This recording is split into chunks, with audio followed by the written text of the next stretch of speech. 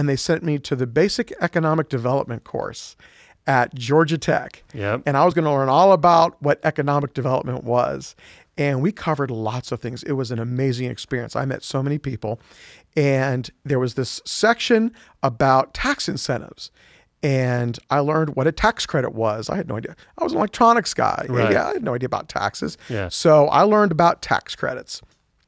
And as a project manager, part of our job was to discuss these tax incentives with our clients as we were developing their training programs. Right. And a really good friend of mine, uh, we established a rapport immediately, also a state employee. Uh, his name is Michael Jones. Right.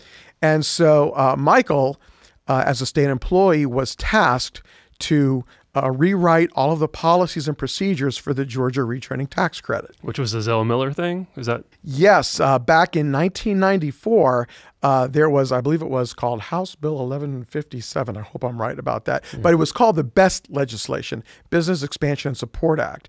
And that's where Governor Zell Miller uh, put together this really robust package of incentives to entice companies that uh, were coming to Georgia anyway for the Olympics in 1996 right? uh, we wanted to entice companies to establish their businesses here, but also foster a positive environment where businesses that were already here could grow. And along with jobs tax credits, port tax credits, uh, lots of other incentives, uh, the idea was to incentivize companies to uh, upgrade their technology and train their employees. Right. So, as an incentive to do that, uh, the idea was to offset the training costs by offering a retraining tax credit. Right. So that was the birth of the Georgia retraining tax credit.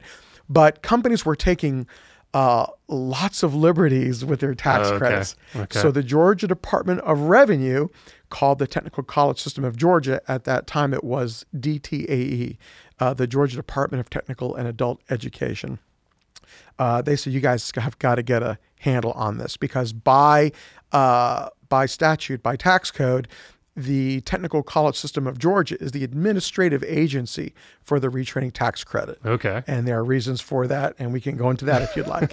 uh, so, uh, Michael Jones was responsible for developing some policies and, and, and procedures, developed a nice set, nice thick set of policies and procedures, rolled that out to all the technical college vice presidents of economic development who, uh, before this year, uh, were responsible for reviewing auditing and approving ret- retraining tax credit applications. Gotcha.